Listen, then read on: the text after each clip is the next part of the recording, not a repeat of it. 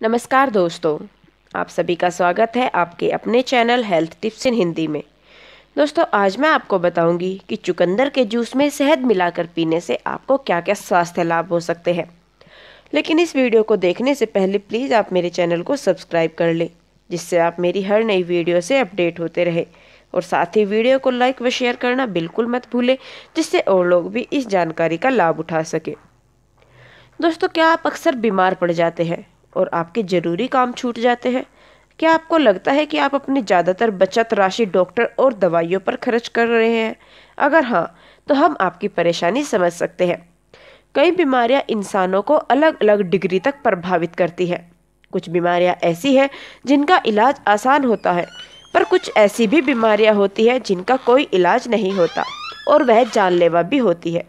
इसलिए आपको अपनी रोगक्षम तंत्र, यानी कि इम्यून सिस्टम को मज़बूत रखने की ज़रूरत है, ताकि बीमारियाँ आपको छू भी ना सके।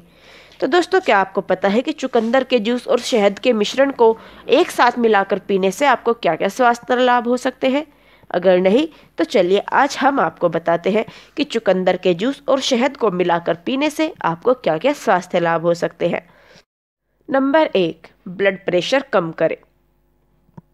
चुकंदर के रस और शहद के मिश्रण में नाइट्रेट की मात्रा सही होती है, जिससे रक्त धमनी फैलती है और रक्त का प्रवाह सही होता है। इससे ब्लड प्रेशर कम होता है। नंबर दो इम्यून सिस्टम को सही करें। घर पर बने इस जूस में एंटीऑक्सीडेंट होते हैं, जिससे रोग क्षम तंत्र यानी कि इम्यून सिस्टम मज़बूत होता है।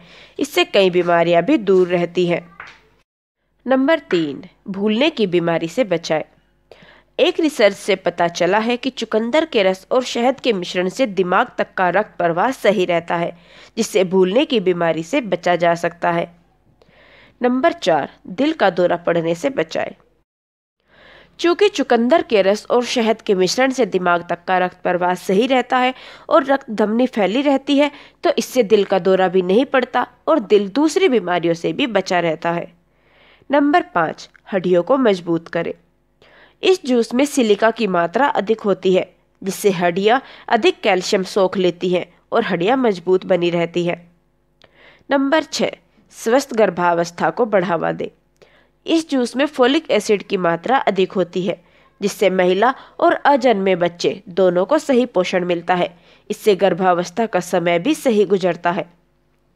नंबर सात, वज़न कम करें। इस जूस में कैलोरी काफ़ी कम होती है और एंटीऑक्सीडेंट और फाइबर अधिक होते हैं, जिससे आप आसानी से अपना वज़न कम कर सकते हैं। तो दोस्तों, ये तो थे चुकंदर का जूस और शहद को मिलाकर पीने से होने वाले स्वास्थ्य लाभ। अब मैं आपको बताती हूँ कि आप यह जूस किस तरीके से बना सकते हैं। इसे बनाने के लिए आपको चुकंदर का जूस, एक बड़ा कप और एक चम्मच शहद की आवश्यकता है। आप इन दोनों को एक साथ कप में डालें और इसे हिलाकर मिश्रण बना लें। आपकी ड्रिंक तैयार है। दोस्तों, इस वीडियो के ज़रिए आप आज ये जान पाए हैं कि चुकंदर के जूस और शहद के मिश्रण से आपकी सेहत पर कैसे असर पड़ सकता है। दोस्तों, आपको ये आज की जानकारी कैसी लगी हमें कमेंट कर ज़रूर बताएँ। हम आप तक ऐसी ही नई और बेहतरीन जानकारियाँ पहुँचा सके। इसके लिए आप मेरे चैनल को सब्सक्राइब करना और वीडियो को लाइक व शेयर करना ना भूलें। हम आपसे जल्दी ही मिलते हैं एक नई जानकारी के साथ। तब तक आप अपना ध्यान रखें, खुश रहें, स्वस्थ रहें। धन्यवाद।